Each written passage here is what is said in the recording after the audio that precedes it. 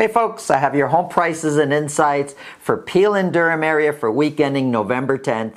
Before I get into the numbers, in our previous in our previous market report for the city of Toronto, we talked about a, a buyer client that we had where before we went to go see the property, there were actually three bully offers and how many agents and their buyers got discouraged and decided not to go see it anymore and so forth. And we ended up buying it. But even though there were three bully offers before we actually went to go see the property, in this video here, I want to talk a little bit about the strategy that went into it. So it's one thing to stay positive and still go see it and still put in an offer, but th- there's so much strategy that went behind it. And first of all, you cannot have strategy unless you know all the facts or as many facts as possible. So before we went to go see the property, we did a CMA, a comparative market analysis to figure out what would this condo actually or most likely sell for. And, and so we looked at the most recent sales, we looked at the, the condos that are you know in competition with it for sale. We looked at cost per square footage. We looked at the condo market for that building. You know, the city of Toronto is one thing, but looking at it just for that building and that surrounding, which way our price is headed. So we looked at all that. Then we went to go see it, and, and we had a pretty good idea of where it would sell at within our it was well within our client's budget and our clients were prepared to spend more than what we actually thought it would sell for.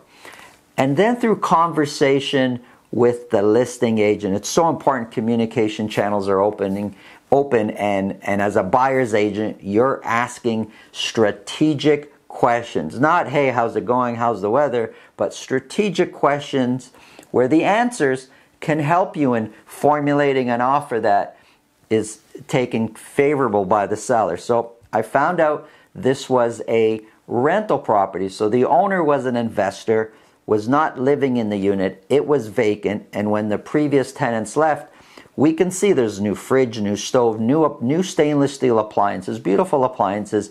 We could see when we were there, it was freshly painted, new caulking around a bathtub, the sink. Like there was just a lot done to this to spruce up the unit. So we knew the investor spent money. We knew being vacant and as an investor, I mean, why would you sell an investment property that you're receiving rent on? It's only one reason. You need the money. You have other plans with that money. What those other plans are aren't relevant. What's important to know is that we knew, I knew that the person selling it needed the money. So when we looked at formulating our offer, and now we're competing with three bully offers that are already there, I knew that the seller needs the money. And so we looked at the deposit. We put in a higher deposit than is normally customary to show the seller we're serious. We put in a closing date just a few weeks from now. It, it wasn't a long two, three month closing date, just a few weeks from now, because we know the seller has carrying costs. They've got the monthly maintenance fees, insurance, heat, light, power. Eh, there's carrying costs, and, and we don't know how quickly the seller needs the money, but we know if it's an investor, an investor, they would always rather have the money in their bank account than someone else's bank account. So we put a really short closing date. All this because we knew certain facts through, through conversation, through investigation, and we put a price that was reasonable. We didn't overpay, and when we submitted our offer, because of all those facts and the way the offer was put together, especially with the higher deposit and a short closing date, we won the bid. We were the last one in and we won. And I know when the sell, the sold price eventually gets posted on the MLS, there's going to be a lot of buyers thinking, oh, I would have paid that. I, I would have prepared to spend that on that unit. Well, a lot of them gave up just because there were three bully offers and their agents didn't do the homework in making phone calls and the research. So, who you hire matters, strategy matters, and you can't have a good strategy if you don't know all the facts. If you want to talk to me anything at all related to real estate, we've made it really simple. Below in the description is a link to my calendar. Just book a time on there that's convenient for you. I'll know ahead of time when you want to chat, and I'll make sure I have the time to give to you to talk to you about whatever's on your mind related to real estate. Let's get into the numbers.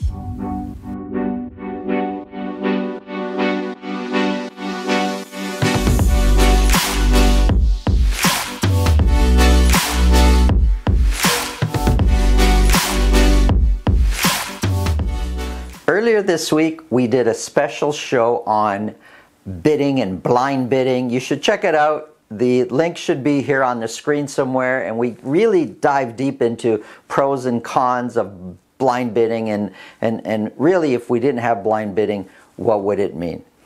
Let's get into the numbers for Peel and Durham for week ending November the 10th. Here's a quick snapshot of average sold prices We've got Mississauga, average sold prices come down. We've got Brampton here in orange, average sold prices come down. And look at this, Durham region, average sold price has come down. Prices though coming down, it's a little bit deceiving. Let me, let's take a closer look. So here's Mississauga. We sold only 40 detached properties in all of Mississauga for week ending November 10th. Not gonna lie, 40 is kind of low and when you look back, there's really, you know, only one other week I can see here in the previous nine or 10 months where we sold less than 40. So 40 is quite low. Average sold price has come down quite a bit to 1,494,000. So just under 1.5.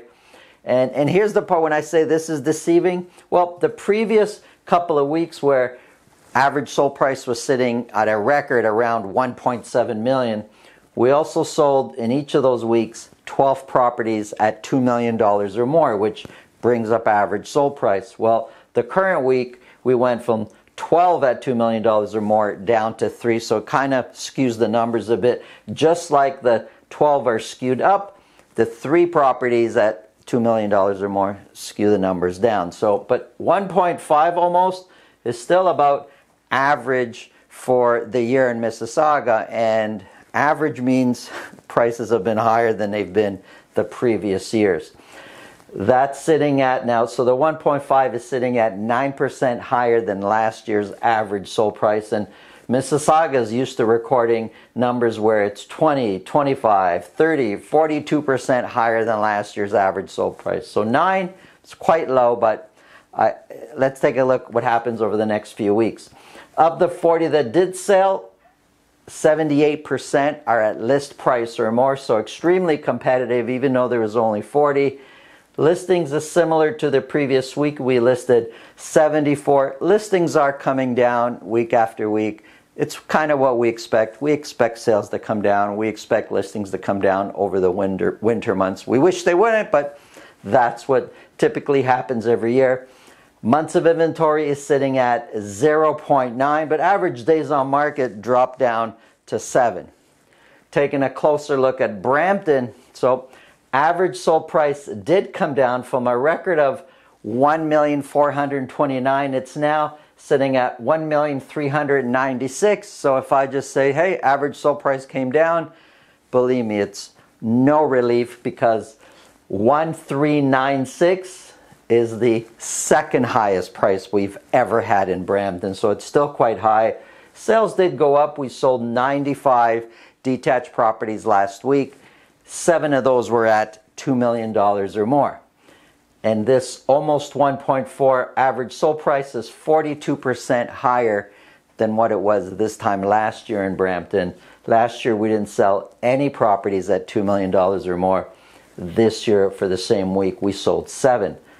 Of the 95 that did sell, 92% sold at list price or more. We don't often see a, a, percentage that high, 92%. That's all of them. Like there's just not a lot of room to negotiate there and, and take your time buying. 104 were listed. Months of inventory. I, I didn't know you can be this slow, but months of inventory sitting at 0.2. Average days on market in Brampton is seven which is really hard to believe because if most properties are selling at list price or more, the the the go-to strategy right now in a highly competitive seller's market is to list today and hold offers in seven days or in five days or in 10 days, but sometime in the future allow people to see the home and then compete in a bidding war. To have seven days as the average days on market means a lot of these offers are being accepted through a bully offer strategy. If you're looking for a detached home in Brampton, you want to keep an eye on this one. It's located in the family-friendly neighborhood of Northwood Park. It's four bedrooms and over, 20, over 2,100 square feet above grade.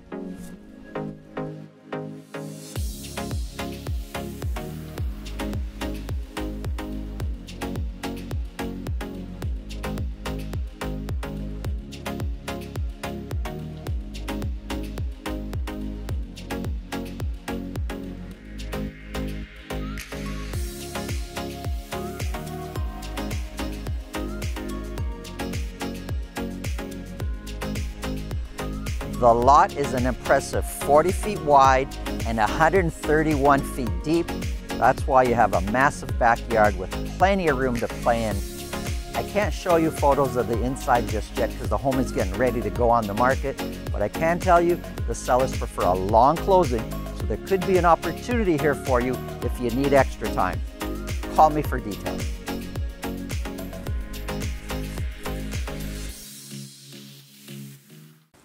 Let's take a look at Ajax, Pickering, and Whitby. That's what I'm using for the Durham area.